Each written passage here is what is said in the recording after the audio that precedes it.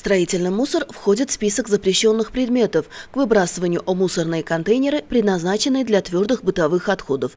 Поэтому, недолго думая, его оставляют где придется. Если одни добросовестно оплачивают его своевременный вывоз, то другие считают, что очистка территории близ жилых домов не их головная боль. А это, в свою очередь, создает большие неудобства для горожан. Этот и другие вопросы, касающиеся благоустройства третьего сектора города и содержания его в чистоте, были в центре обсуждения в областной администрации с участием главы Самаркандской области и городских махалинских семерок, в чьих махалях рабочей группой зафиксированы замусоренные территории. Махаля Нудрабегим города Самарканда. Вот так выглядит территория рядом с домом 76.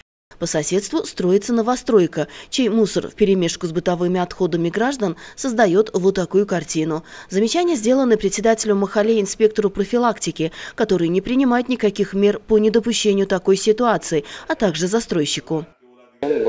viloyat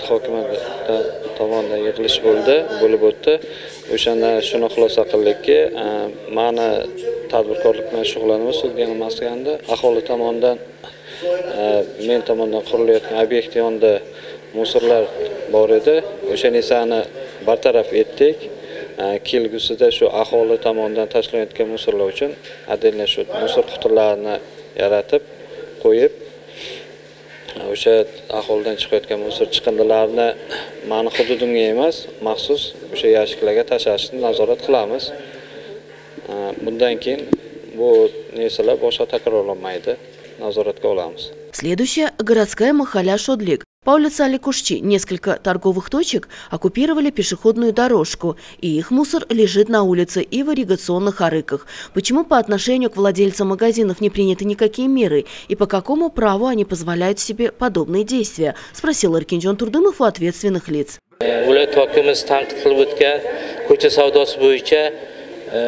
Ya'ni ariqlarga tashlab ketilgan chiqindilarni o'z vaqtida bartaraf etamiz.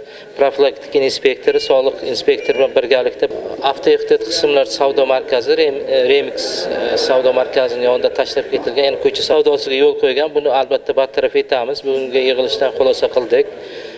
Bir hafta mobaynida bartaraf etamiz По улице Зиолелар Махален Уравшон рядом с многоэтажками можно видеть вот такие кучки мусора.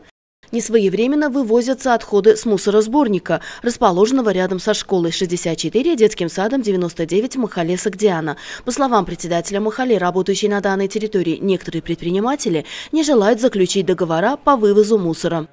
bunaqa holatni yuzaga kelishini sababi har bir tashkilot masalan biz o'sha hududda chiqindi yig'ilib qolgan hududda ikkita maktab ikkita bog'cha ikkita mahalla chiqaradigan barxazon to'playdigan joy. Boshqa joyda e, belgilab olinmagan e, endi bugungi kunda harakat qilamiz. O'sha chiqindixonalarni o'sha tashkilotlarni o'zini ichida qilinib e, bu joyda nima deydi belgilanmagan joyda belgilaymiz. Beshta tashkilot o'rtasidagi nazorat qilinib qolmagan chiqindixona buni nazoratga olamiz va bugungi kunda u bartaraf etildi. Bundan keyin bunaqa holatlar bo'lmaydi. Было отмечено, что на сегодняшний день у вышеперечисленных махале имеется дебиторская задолженность перед организацией, оказывающей услуги по вывозу мусора. Так, у Нударабегим 38 миллионов суммов, Шодлик 55 миллионов, Нуравшон 38 миллионов и Даргом более 87 миллионов суммов. На встрече были рассмотрены вопросы благоустройства территории, поддержания чистоты, порядка и своевременного вывоза строительных и бытовых отходов. Сказано о том, что в этом деле не должно быть равнодушных, спокойно наблюдающих за гражданами, выбрасывающими мусор в неположенном месте. Подчеркнуто, что махалинским семеркам необходимо принять все необходимые меры по отношению к нарушителям. Спустя неделю данная тема будет вновь в центре обсуждений.